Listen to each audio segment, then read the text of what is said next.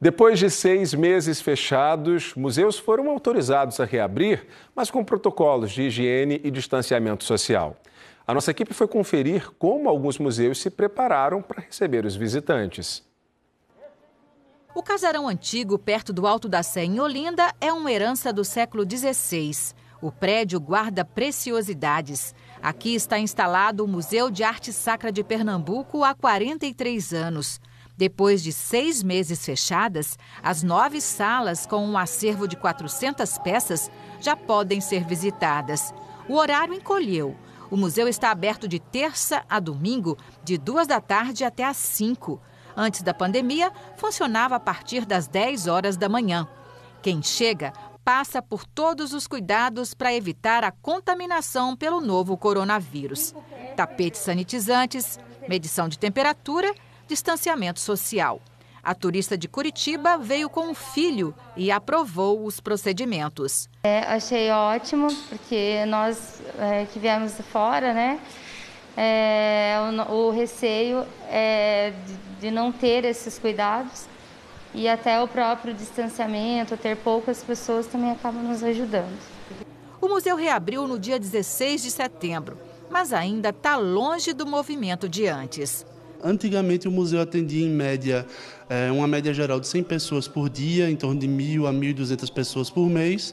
Hoje em dia, de fato, infelizmente, ainda estamos longe dessa média, atendendo em torno de 30 pessoas por dia. Por desinformação ou receio, o público deixa de conhecer um acervo expressivo da arte sacra. Estes três santos decapitados são as peças mais antigas do século XVII. As peças foram encontradas em escavações no seminário de Olinda. Estão aqui também os braços relicários, que guardam pedaços de ossos de santos.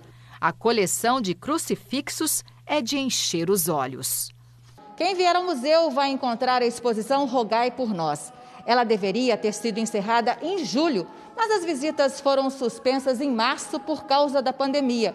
Por isso, o público vai ter até dezembro para conferir essa exposição que mostra que a fé não tem preço. Peças populares compradas em feiras se misturam a outras antigas de imenso valor artístico. É esse contraste que atrai a curiosidade. A devoção que cada imagem desperta não é associada ao valor que ela tem no mercado. As igrejas dos santos Cosme e Damião de Igaraçu, esculpida em madeira, é cercada por bombons. Ao lado, o oratório doméstico é de uma riqueza impressionante de detalhes que mostram cenas do nascimento e da vida de Jesus Cristo. Obras assim estão à espera do visitante. O Museu Cais do Sertão também está de portas abertas. É preciso vir de máscara e lavar as mãos na entrada. Depois é só se entregar ao universo sertanejo.